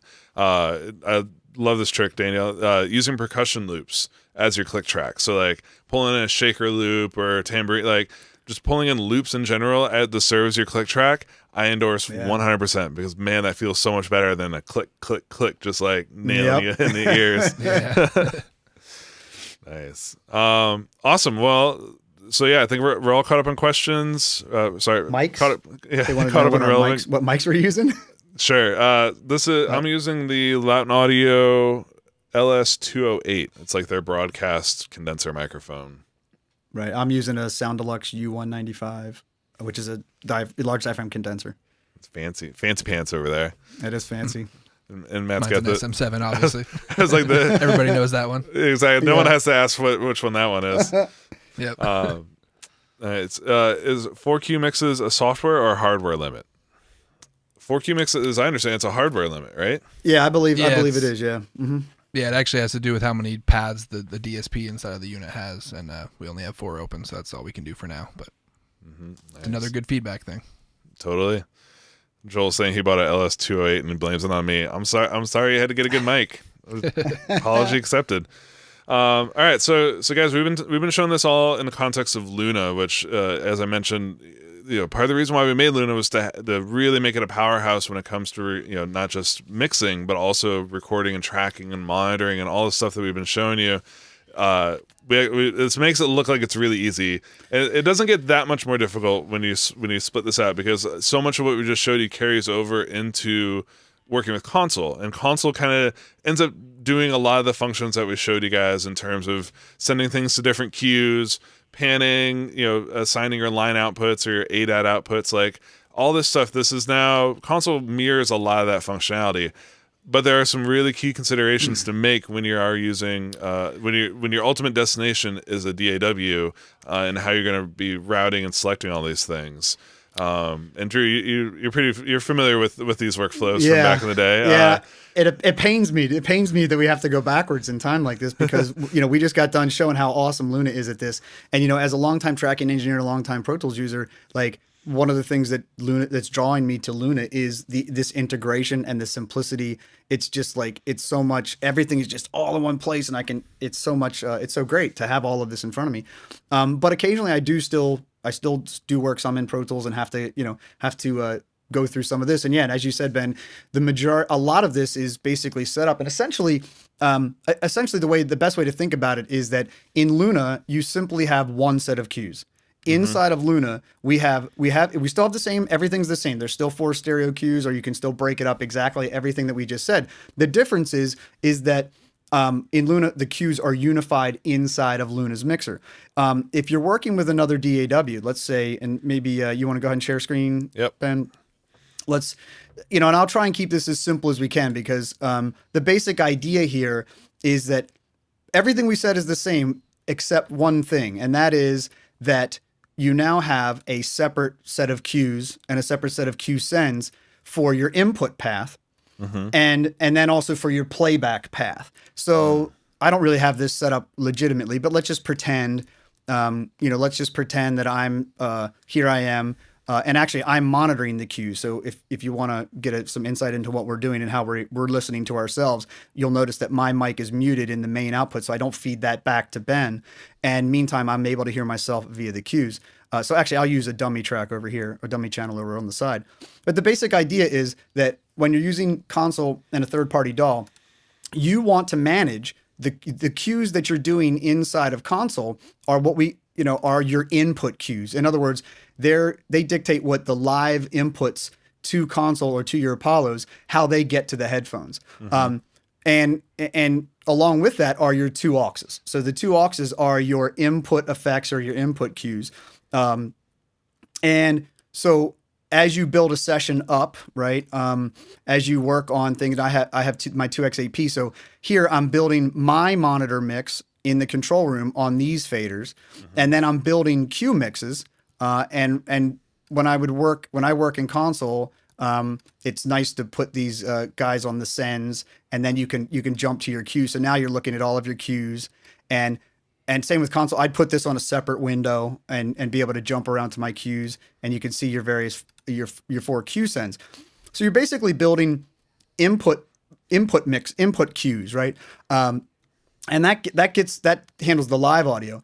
And then when you jump over to a DAW, essentially what you're doing is you are uh, uh, essentially what you're doing is you're replicating that, but for the playback side. So So this way, so So- so, so you'd be listening when you're tracking live. Everything's happening in console, right? So what you're hearing as the engineer, what your musicians are hearing, that's all based on the faders and the the sends that you set up over in console. And now, Exactly. now what Pro Tools is doing is it's capturing those inputs, but it's actually it's not out. You're not hearing post fader out of Pro Tools when you're doing this. You- You're kind of you're leaving it muted. This that's it. This is the important option right there yeah, low Yeah. latency monitoring. So what this does in Pro Tools is it says, "Hey Pro Tools, record all this stuff in, and as soon as I as soon as I'm done recording and press play, I want to hear it all back." But while you're in the act of recording, when you're in low latency monitoring like this, that says, "Hey, you know what? Uh, the, some other device is handling the, the input monitoring, which in this case is is console and your Apollo. That's Right. handling what you're hearing in real time, and then Pro Tools just becomes a playback device for you. Exactly. Yeah. So with low latency monitoring on, that basically mutes the inputs. It mutes the inputs um, to the track. So for you know, for example, when I uh, record enable this mic, it's it's it Pro Tools is saying, yeah, record that audio, but don't output it because it there is a direct path, a direct monitoring path, a low latency path, which in our case is console. Um, so that's what's happening here. So now these mixes now become and, and and you know here's the spoiler alert. Here's you have to maintain two separate sets of mixes, right? You know that's that's this you can now see why Luna is amazing at tracking and it's you know is an amazing for me. I having that centralized unified place to control the cues is awesome. There's also the effects side of it. So for example, in console, um, when I'm in console. And let me just go back to the other view. I I might ha- I have to have a dedicated reverb over here that's in in my aux. Let's just you know if we we can just throw the. Uh, uh, God, I'm so used to my type ahead, you know. Jeez. Uh, so you know, I we have you know we can have we can have this reverb here, and then have me send stuff to it, right? Um, and and bring up you know the the, the feed from that reverb and that's going to handle the reverb side for the input path. But when it comes time for playback, I have to basically replicate that here in Pro Tools with another, you know, instantiation of that so that the playback has the similar reverb. Now there are some, I, I do have some tricks that allow you to, uh, whatever track you happen to be recording on. I one of the tricks I do all the time is I have dedicated, I have dedicated, I use virtuals, I use virtual returns, and you'll notice I have them set up. Uh, two of my virtual channels set up as return one, return two. I do that for to have either two mono or to be able to use a stereo return, which is great for um, like if you're using the Townsend mic at the same time. Um, but anyway, so what this does is by setting your by setting your the track you're working on uh, to to a to a return one, then what happens is it gets the signal for for recording, and upon playback, it will play back live into console, and you can see that I have mine over here. And so return one, I can open this up and I can send this to the same reverb that I'm using for the live. So That's now, tricky. I like that. yeah. one instantiation, one version of the 140 is is handling both my live mic, you know, which is over here, um, and then also the return. And so, anyway, hopefully that's making sense. I know it's a little bit convoluted, but you know, the, the moral of the story is just use Luna. um, you know, that's really that's. I mean, I, I just can't say that enough. You know, I mean, uh it just puts it all in one place. I mean, God, imagine this. I mean, uh, uh, Luna just solves. th- This is what you know. It solves all these problems. You know. Yeah. Um, so I don't Well- know. Hopefully that's making sense. Any any any questions there, Ben? Anything coming up in the chat? No, uh, I haven't seen any any relevant questions come in yet. If you guys, yeah, if you guys do have questions about doing this console plus Pro Tools or live or other, uh, drop drop them here in the chat.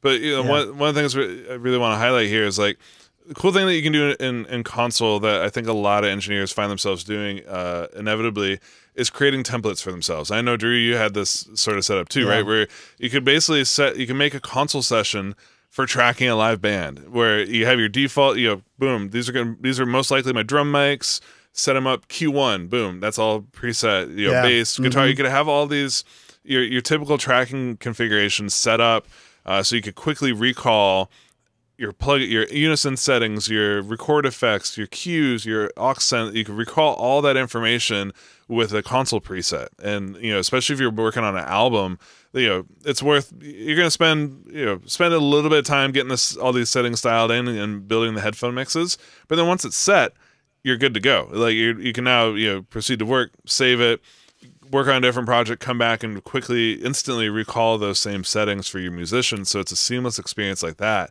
Um, Yeah. But again, you know, the, the, the real, the only, the only actual trick that makes this a, a kind of a cumbersome workflow is having to go back and forth between the two and, and, you know, knowing that your console, the monitoring that's happening inside a console, that's just, it's all happening in real time, but it's also it's always happening, right? So this would be the thing sometimes you'd run into, especially when you go to do overdub style workflow, right? Is the say you're a vocalist, you would hear the playback of your track coming from Pro Tools, uh, but then you'd also be hearing your live input at the same time. So you start singing along to like warm up or get in there, and you're hearing two of yourself Yeah. this is this is a, one of those areas that it can get a little bit fuzzy and a little bit weird as a performer of like not knowing am I in key or was I out of key on the last take what's going on here like um and that you know this is there's not really there's no perfect solution for this sort of stuff but do you have some workarounds that you've used in the past Drew Well, you know, the, the thing, the thing, what you just mentioned is, I mean, really, what you've mentioned is that is reiterates the idea that Luna has solved these problems. And in, but but having said that, some people actually like that. Some people mm-hmm. prefer, you know, being able to hear the pre-roll audio, the live audio ahead of time. And of course, that's what console tracking mode is all about. Console tracking mode. If you like this system, if you like being able to keep things very separate, um, as far as on on the monitoring path and keeping those live paths open, then console tracking mode is great. Uh, with Luna that will you know maintain yeah, those true. workflows you know that you like. Uh, the other thing is the, the feature we just added was option K, right? Taking record record enabled tracks and throwing them into input mode is a way of getting it's like half of these it's like halfway between both of these workflows where you can still be in Luna, you can still have everything centralized, but if that artist needs to hear themselves on line number 3 to get their pitch and get their tone before you punch on line number 4, then option K drops you into input mode, lets them hear themselves ahead of time, and then you punch on line number four. Um, you know, as far as the other, as far as getting around, like honestly, like making Luna was to get around it. Like, like when I- you know, when you're tracking drums with an Apollo and Pro Tools, like there was really, it was very difficult. There's really no way to keep it from being able to hear both at the same time, which um, I got used to it, and clients don't seem to mind it. But um, you know, I know it's I, I just prefer the way it is in Luna. It just seems it's so much tighter and more focused, integrated workflow. Well, and I mean the and the other side of the coin for this too is uh and the the way I lazily did this a lot was uh I I would put up with the buffer size sometimes. Like Oh, would- yeah, yeah, forgot I, about I that, would yeah. leave, I would leave console muted. Like I would I would do input you know signal processing unison, uh and then you know come into Pro Tools I would leave it off of low latency monitor mode. And I would just put up with a little bit of latency, which Yeah. often it's it's not ideal, but it can a lot of times, especially if you're in a session that doesn't have a lot of plugins or a lot of processing at a 64 buffer size, you're in the ballpark. Like you're, Yeah, you're, with you're some not at- reverb. you're you know, like yeah. what 10 Yeah, it's milliseconds, maybe 20 milliseconds, like total round trip. Um, which you, you might know when you're doing vocals or something very very rhythmic, but uh, one a fascinating thing I learned, man, is like pian- uh, a keyboard. Like when you're playing a piano, a real physical piano, there can be up to 50 milliseconds of latency between your key press and when the sound comes back to you. Like Oh, wow, really? Milliseconds add up really, really fast. Like the distance from a stage monitor to your ear, I think it's like eight milliseconds, 10 milliseconds. Like the speed of sound is slower than we sometimes think. That's a, yeah, it's about a millisecond per foot. Yeah, uh, roughly. Yeah. Um, so, you know, so we've shown you guys all these tricks, and, and this is really in the pursuit of a fantastic low latency experience. But I just wanted to add this little thing on the end of like, there's also, uh, you know, some of us are, are willing to put up with some latency sometimes to be able to just, mon- you know, input monitor and do this all in Pro Tools for me, again, this is a reason why I loved moving into Luna to do stuff. Is like all of a sudden now I'm getting the functionality that I really liked being able to just record and input monitor and not think about it too hard. But with the perfect low latency experience that I get out of console, I'm getting now the best of both worlds put together. Um, Yeah. But it's really interesting. Like Matt, you had uh, Ableton Live up earlier. Like I've seen uh, a few people put out videos where they they talk about the workarounds that they do to get low latency or to get monitoring through plugins, but then also be able to record a, a perfectly synced take where you actually have to use like two tracks, right? Where one's recording and the other is monitoring. Uh, and you know, the record one, if you do it wrong, will actually be out of sync from from your track. Yeah, exactly. And th- yeah, there's definitely other ways to do it in other DAWs, but even the best case scenario in those other DAWs is still way more latent than, than just using Luna. So yeah, Luna really makes it the, the clear choice for this kind of thing. Yeah, absolutely. Um, well, guys, I think that was basically everything that we had in our outline here to talk about around cues. So, uh, if you guys have got any questions in the chat, this is this is your chance uh, to hit us up and and we'll we'll discuss about it here. But otherwise, this is going to turn into a nice little uh, re- reference resource for you guys to check out in the future as you're as you're doing different uh, tracking scenarios and different cue setups. Uh, this is a great one, and there's uh, also want to give a big shout out. There's another. We did a deep dive last year. Drew walked us through all about ARM mode. Right, like we did, we did an equally long show talking just about ARM mode. We touched on a lot of these different topics as well, um, but definitely be sure to check that one out if you if you're looking for even more information and, and more ideas around uh, accelerated real time monitoring and what that means in terms of cues and instruments and effects and everything. Uh, I'll throw that in the chat right now. awesome. Yeah, I'll- it's a good. yeah. It's a great resource. Um, yeah, Daniel, I can't imagine using another system than Luna console now. Feels like you've had it forever. Joel's like, I don't remiss, I don't miss recording in Studio One after being in Luna for so long now. Like this is, we're we're not alone, guys. There, there's there's a lot of folks out here that are in that same uh same boat. Yep.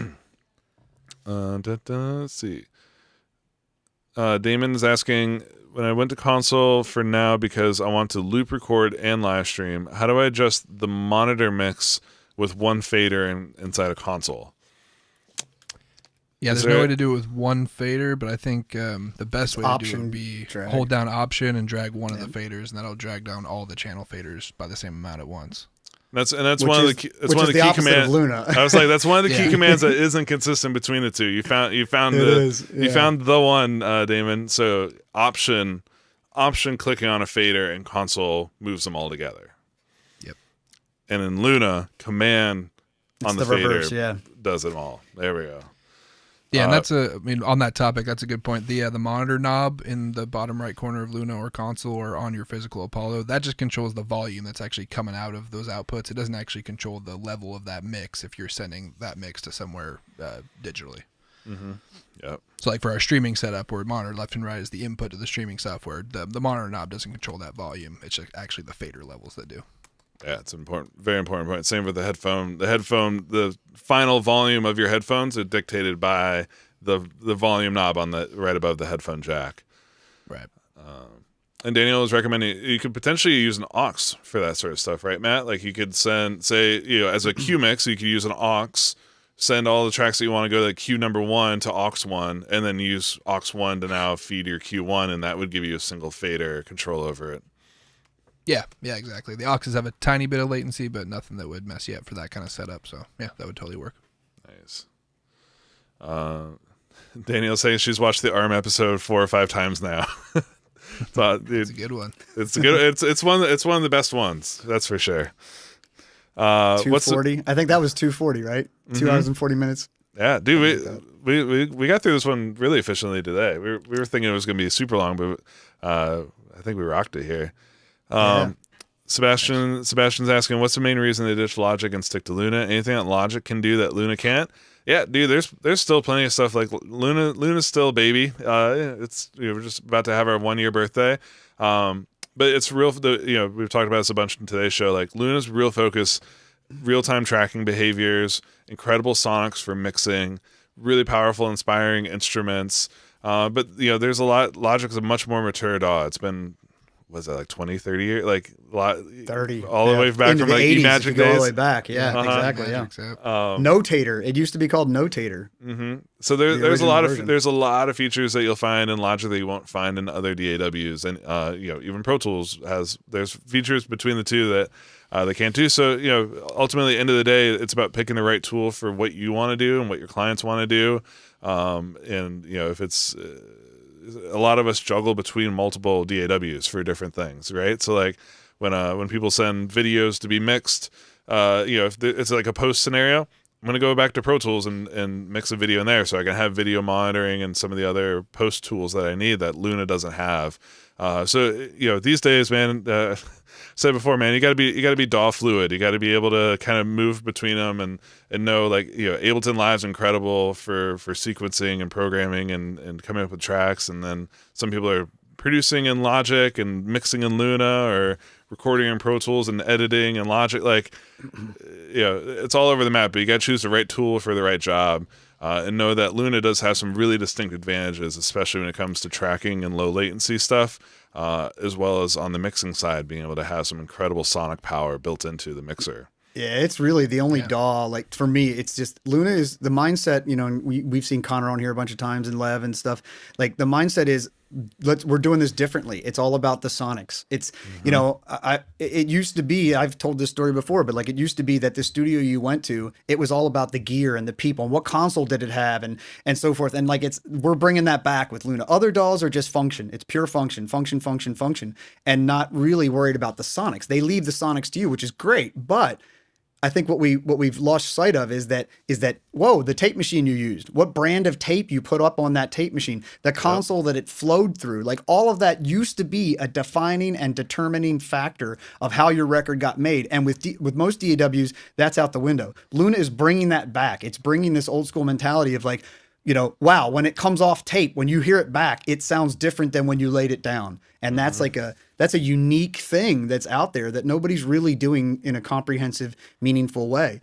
And uh, you know we're just getting started with luna. Wait you know i i can't wait for people to see what's coming down the pike it's going to be it's to be amazing it's going to be amazing I mean, some, you guys, you guys are aware of a few of the things we, we did. A we did a nice little preview show at the beginning of the year, uh, showing off some of the future features that are coming to Luna this year. Uh, you know, the utility rail, for instance, we already uh, just delivered. Uh, as guys saw, the control surface support. They're working. The team is working on that. Uh, so with those in mind, know that we also we we kept a lot of surprises that are that are arriving this year that are going to be uh, some game changing features. I think that people are going to really really enjoy. Uh, I, w- I wish I could tell you guys right now, but we got we got to save something. We got to save something for save the some. launch. Yeah. Um, but yeah, so guys, this is this has been super fun. Uh, really great walking you guys through, and, and great to think about all these different tracking scenarios. Uh, and as always, it's you guys have such great questions uh, all along the way. Um, unless there's any other questions, I think we can kind of wrap it up here. Of uh, be sure uh, tune back in tomorrow. We're going to be launching a new Luna session with Fab, Lewis, Cato, and Will Knox. Uh, that's going to be a, a really really fun session to walk through again. Uh, the song just turned out so good, and now that you guys are going to be able to download it and, and play around with those tracks yourselves, you're going to discover even more awesomeness about that song. Uh, so tune in tomorrow for that don't miss out on the the kick-ass sale that's going on over on uh, plugins both for UAD and also for Luna. There's the the satellite uh, satellite promotion that's still going on, I believe, uh, where you can get Yep. buy uh, buy any satellite. I think I saw Prince Jordan was mentioning he picked up one to, to get the free plugins already. Um, Yeah. So don't don't miss out on that because there's some amazing plugins that get included with the new satellite. And I think that's all. If you guys have got suggestions for shows, hit us up either in the chat or you can always also email us live at uaudio.com. Send us in your music that you're working on. We'd love to feature it in the opening countdowns. Tag us on your photos. Like this video, subscribe to our YouTube channel, hit the notification bell so that way your phone buzzes anytime that we go live or release a new video. And I think that's it. I Matt, do. Drew, you guys, so. absolutely, you guys, we crushed it today. Great, great work on on walking people through all this stuff. Uh, so thank you as always for for you guys' diligent work and uh, preparing and getting things ready for these shows and uh, and coming on and sharing all the info and knowledge. Well, thanks for hosting us. You do a great job. Uh, And thank it's- you yeah, guys. Happy to But do it. Thank you everybody at home for watching. Uh, really fun hanging out with you guys again, and we'll be back here again next Monday. So have a great week, guys. Go make some music. Peace. See you guys soon. Hey, everybody.